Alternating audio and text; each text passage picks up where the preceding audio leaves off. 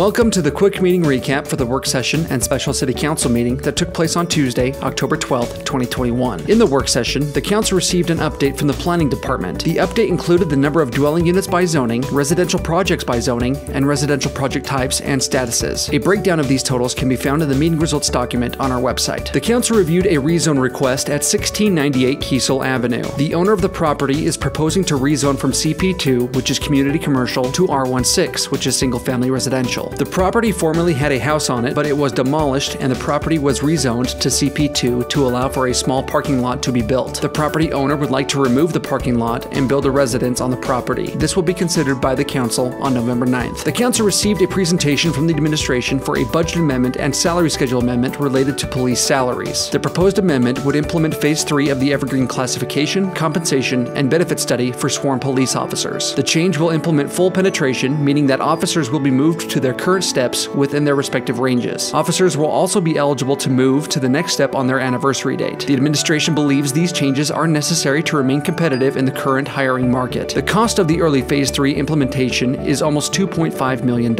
Funding is proposed to come from $990,950 in sales tax and $1,493,150 from general fund balance. There is also a separate related proposal to amend the range placement table for sworn officer increases, starting police officer pay from $21.39 to $24.80, changes step progression, and adds additional steps for police officers and master police officer positions. This will be considered by the council on October 19th. The council reviewed a proposed budget amendment to recognize new revenues, appropriations, and consider proposed uses for various departmental carryover from fiscal year 2021. During the work session, the administrative staff indicated there was a mathematical error in the documents and indicated an updated transmittal would be forwarded on Wednesday. The proposed budget amendment recognizes $2,451,325 in revenue from grants, donations, other governmental agencies, and retained earnings and appropriates those funds for various uses. The proposal also includes recommendations for use of $2,165,400 in departmental general fund and medical fund fiscal year 2021 carryover. The total corrected budget amendment is $4,616,725. The proposed appropriations are to benefit the fire department, public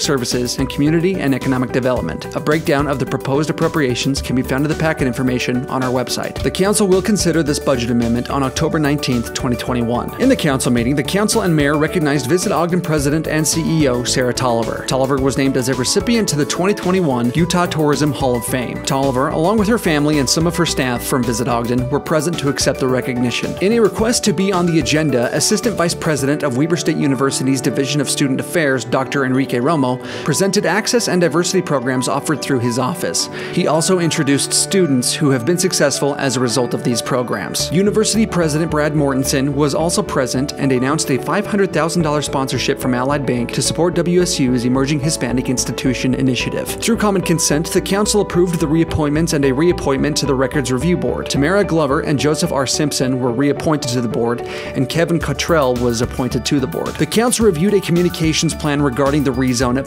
550 East 900 North that was extended last week. The developer petitioned to rezone the vacant church property from R16, which is single family residential, to R3, which is multifamily residential. The purpose of the rezone was to demolish the vacant church and build townhomes. The Planning Commission unanimously recommended rezoning the property from R16 to R3. Issues of traffic and community plan consistencies for the area were brought up by residents in a public hearing. Different options will be considered to address residents' concerns before this is brought back to the council. The entire recording from the of October 12th can be accessed on the Ogden City Council's Facebook page and podcast with timestamps to skip to specific agenda items. If you have any questions or comments, please reach out to the council office at 801 629 8153 or send an email to citycouncil at ogdencity.com.